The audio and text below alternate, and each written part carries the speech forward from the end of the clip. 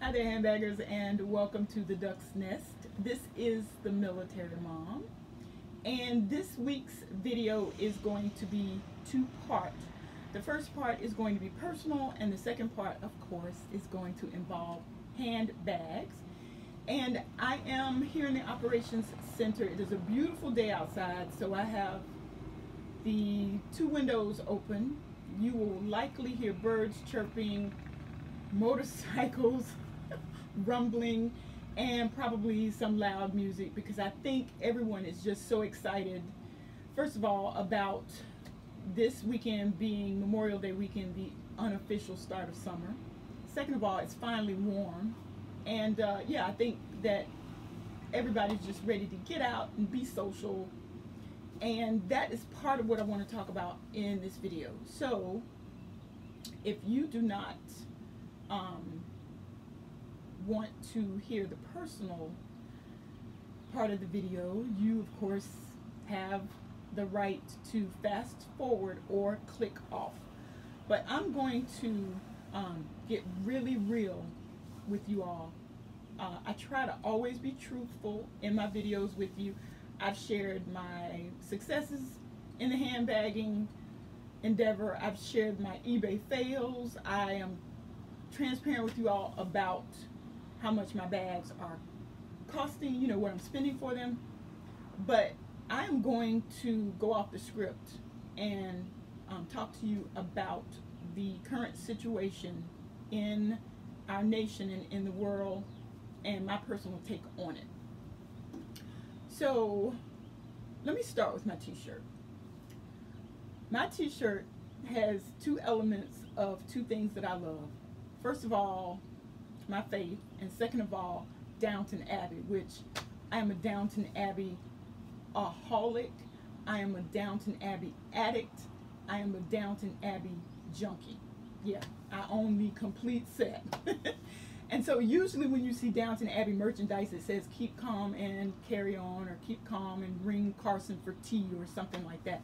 But this t-shirt says keep calm and trust God. And that is what I want you all who may not know the Lord to consider. Um, Corona has turned our world upside down, and me included. Everything that I know is topsy turvy, except my faith. My faith is the same place it was before Corona. It is on the bedrock of my life and my worldview, in case you haven't figured it out, is um, I have a Christian worldview. And the really, really tiny print at the bottom of my t-shirt says, be still and know that I am God. I will be exalted among the nations and I will be exalted in the earth. And the first part of that verse, be still it's actually a command. And I had to come to that realization be still. So, what is going on in the world today is everything but us being still. We're running here and there. We're trying to follow all of the advice of the authorities. We're trying to follow all of the information. We're getting conflicting information. Um, we have YouTube videos that are being shut down because the information in the videos is not matching the official narrative, blah, blah, blah. In all of that, I come back to this t-shirt. Be still and know that I am God. God has all of this in control. So let me start at the beginning. In the beginning, God created the heavens and the earth. And the earth was without form and void, and darkness was upon the face of the deep. And the Spirit of God moved across the waters. And God said, Let there be light. And there was light. And God saw the light, that it was good. And he segregated the light from the day. And the light he called day. And the darkness he called night and the evening and the morning were the first day. actually, he separated the light from the darkness. That is the foundation of the Christian faith that God created everything. So, fast forward, after he created, the after he created the world, the last thing that he created was man. And God gave man what we call free will. And he gave man commandments. Well, man exercised his free will and he broke God's law. And that fractured paradise from where we are now. So we were all born with a sinful nature. And I don't have to explain a sinful nature. We should all hopefully understand what that means. And God knew that he had to pour out his wrath on man for being sinful because in the days of Noah, man was sinful continuously. So that means that we are all born with the sinful nature and we are all deserving of the wrath of God. But God so loved the world that he own, that he gave his only begotten son that whosoever believes in him should not perish but have eternal life. And the eternal life comes in the form of his son Jesus. He sent Jesus to save us from his wrath because we're all liars and we're all murderers and we're all adulterers and we're all fornicators and we have moved away from the paradise that God created. So, when we needed someone to save us from God's wrath, he sent Jesus, who was born of a virgin and died a horrible death on the cross. He hung on the cross because God so loved the world and we needed a substitution because we could not save ourselves. So the blood that Jesus shed covers our sins if you believe in God. And when I say God, I'm not talking about just some nebulous God. I'm talking about Jehovah, the Adonai, the creator of the universe, who is a spirit and who loves us. And the only commandment that we have for being saved from our sin is to believe on the Lord Jesus Christ. Now, I'm not trying to convince everybody. I'm not trying to convince anybody. All I'm doing is sharing the gospel with you. And the gospel is that Jesus, the Son of God, came as a man with full deity. He lived among men for 33 years and he died on the cross for our sins so that we who are loved by God can be reconciled to God.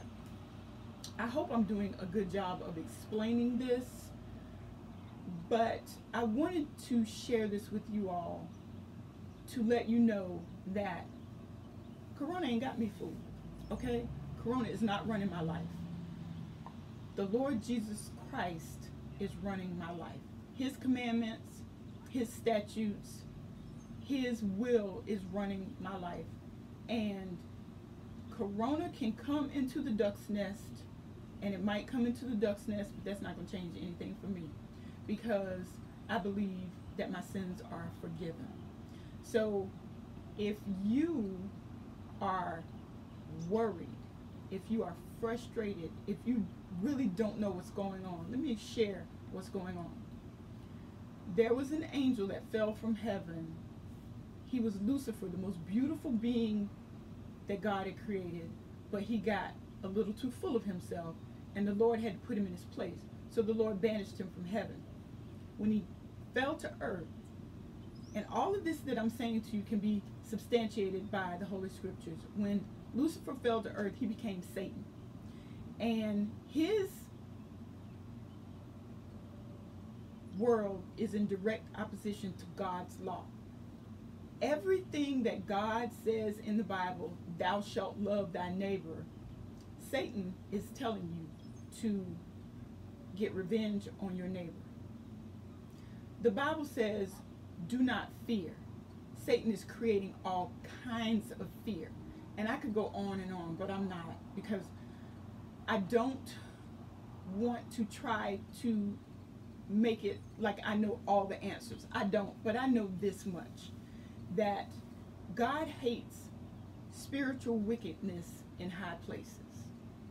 And that is what's going on in the world today.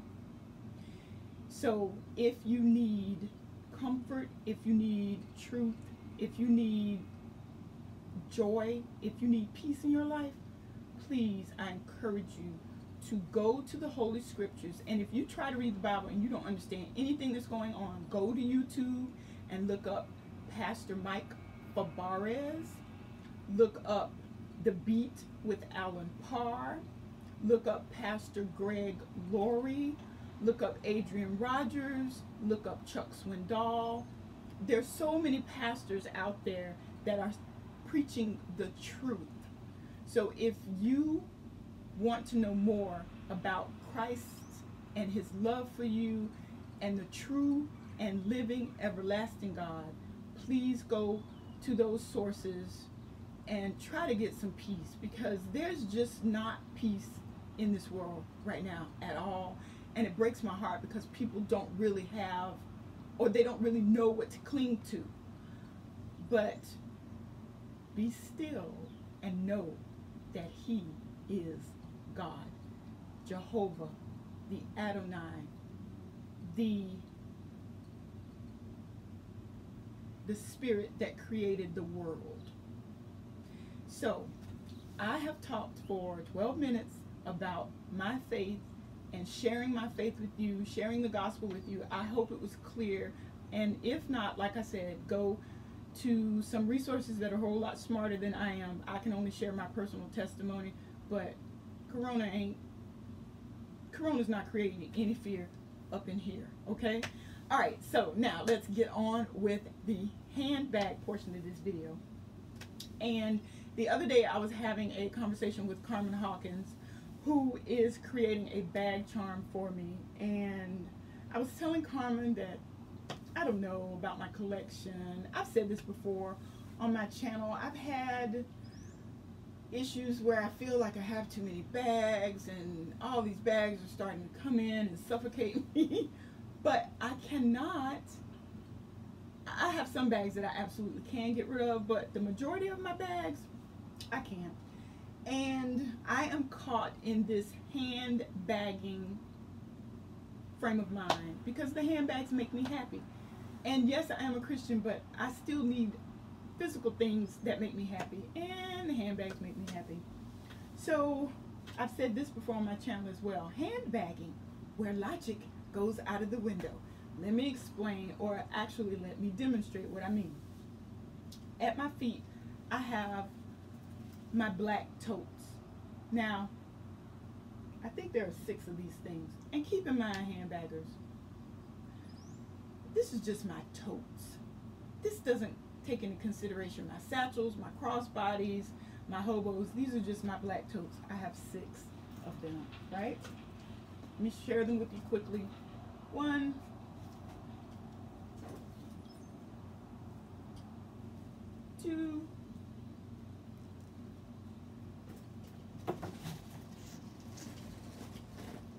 three,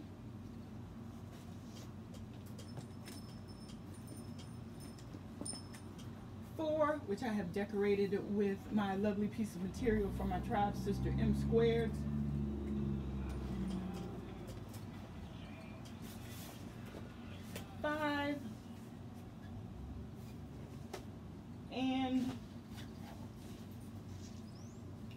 Six.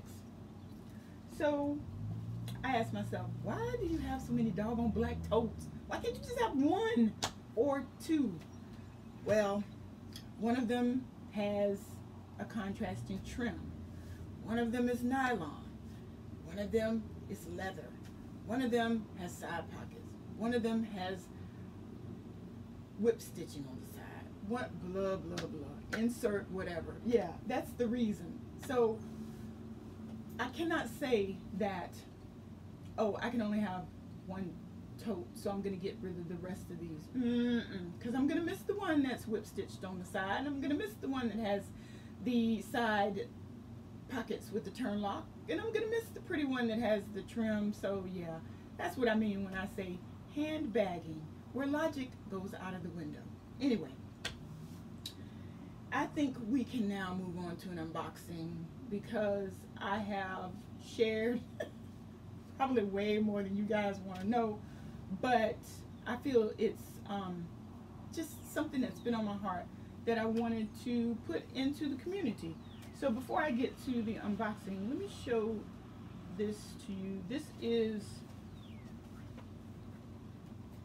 this month's Marie Claire. Can you all see that? I don't know. Here, maybe this is easier. So this is cover of this month's Marie Claire, and when you flip it over, I don't know why they did this, but uh, they have a different photograph of Megan Thee Stallion on the back. And in this video, I'm sorry, in this video, in this, yeah, I guess in this video, I want to share this picture with you. This is Louis Vuitton, of course. And Marie Claire always has designer bags. And this is, I thought, actually, the, the suit I thought was really cute. I've never seen a blue and white Louis Vuitton monogram. So the suit paired with the bag, which of course the bag is here, I thought was really cute. I hope you all can see that. All right, so on with the unboxing. And I think what I'm going to unbox first is a gift from a tribe sister. And it came in the mail. And I am opening it. She told me about it, but I hadn't seen it. So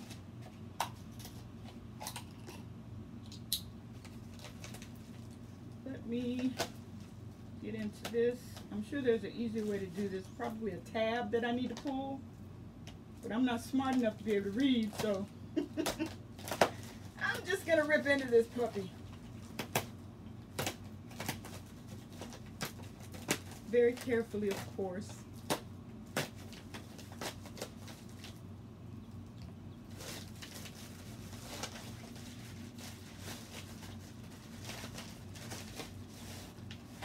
So this is how the gifter packaged it. and look, it is actually from eBay. All right.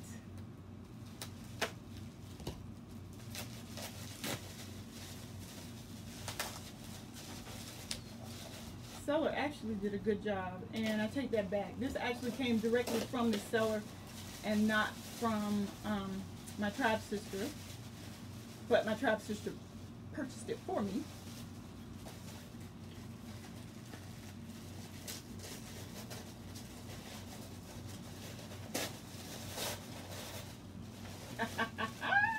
look, look at this, you guys. Oh my gosh. Is this not the cutest Patricia Nash patchwork journal that you have ever seen? If it's not for you, it is for me. And it has the Patricia suede, uh, Patricia Nash suede on the interior. Has a leather pocket, a leather card pocket. There's the Patricia Nash logo, a snap, and a pin pocket. Actually, look at the whip stitching. Yes, beautiful, beautiful, beautiful. But wait, there's more. it matches my Patricia Nash saddlebag. Look at this, you all. Yes, honey. Oh my gosh. And this was gifted to me by none other than Tribe Sister Suz What. I don't know if you all pay attention, but Suz pays attention to our videos. And I don't know how, because she's subscribed to like every single handbagging video in YouTube. But she probably remembered that I had this Patricia Nash saddlebag